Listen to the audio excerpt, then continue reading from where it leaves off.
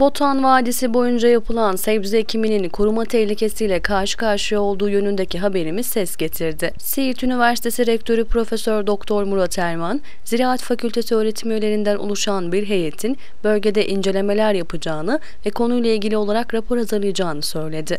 Son günlerde özellikle kamuoyunda yoğun bir şekilde tartışılan e, Botan Vadisi'nde sebze üretimiyle ilgili bir takım e, sulama sorunlarının e, yaşandığı konusu üniversitemize e, üniversitemizin de ilgisini çekmektedir.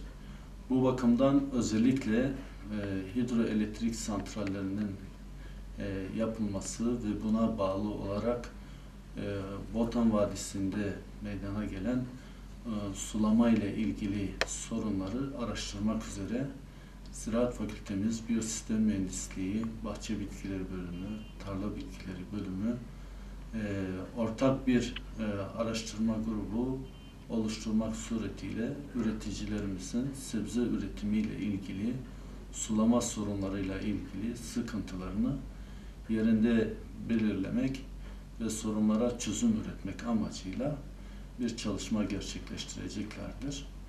Çalışmalar neticesinde belki de bu özellikle ım, hidroelektrik santrallerinden sonra sulama rejimi, sulama e, yöntemleriyle ilgili üreticilerimize bir takım öneriler, tavsiyelerde bulunulacak ve e, sulamada sıkıntı çekmemeleri noktasında fakültemiz üzerine düşen raporları, çalışmaları e, tamamlayacaktır.